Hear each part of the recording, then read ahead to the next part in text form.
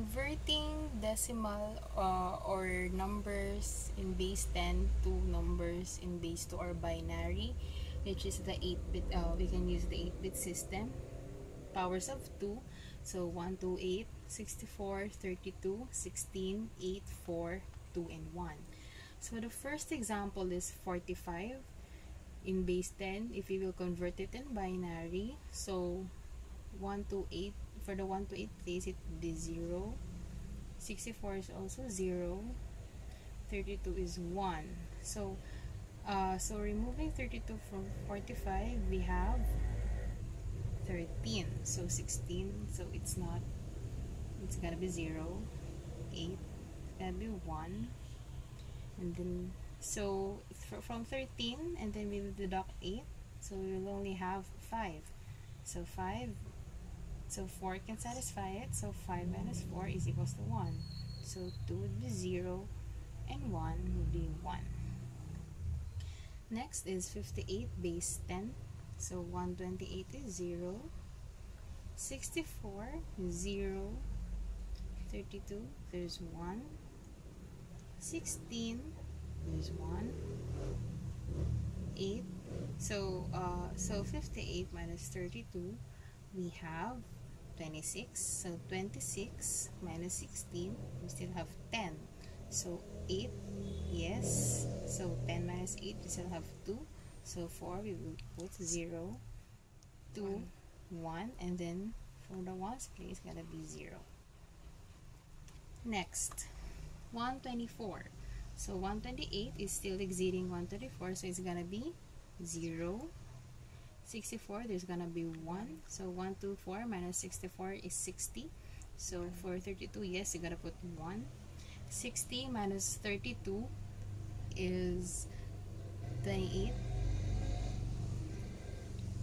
and so 16 we can still deduct 16 from 28 and then 28 minus 16 is uh, 12 so we can still deduct 8 from it.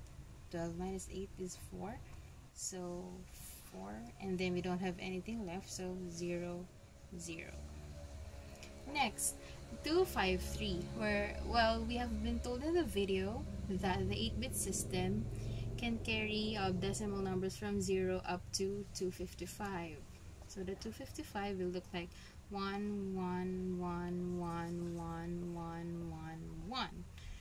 so 253 is just um uh, 255 minus 253 is just 2 so we can deduct 2 so instead of putting 1 in the 2's place we can put 0 okay?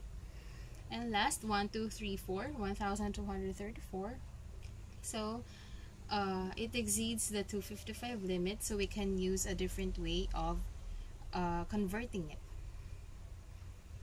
So what you can do Okay, so since it doesn't fit, we can use a different way of converting it. We will not use it. We can use another method. So we will uh, do a continuous division.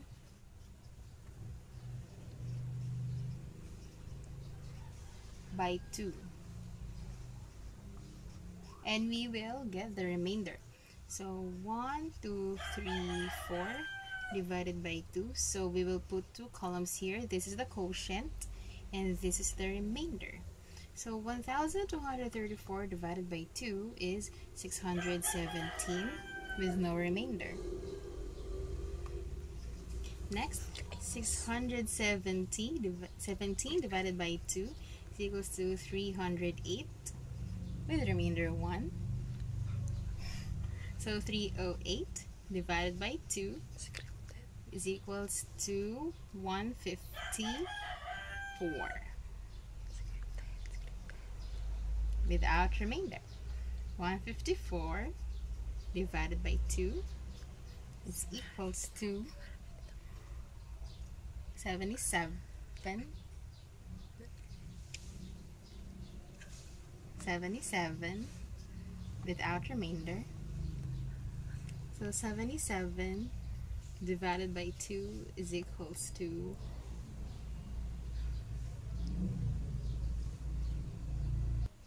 is equals to 38 with the remainder of 1 and then 38 divided by 2 is equals to 19 without remainder 19 divided by 2 oh my god. is equals 19 divided by 2 is 8 remainder 1 sorry 9 remainder 1 9 divided by 2 is 4 remainder 1 and then continue it here. Wait. 4 divided by 2 is equals to 2 without remainder and then 2 divided by 2 is 1 without remainder. Then 1 divided by 2 is 0 with the remainder of 1 so we have to make sure that the last quotient is 0 so once you have this already once you have already um, had the quotient of 0 we will get the remainder from the last one to the top. So 1 0 0 1 1 0 1 0 0 1 0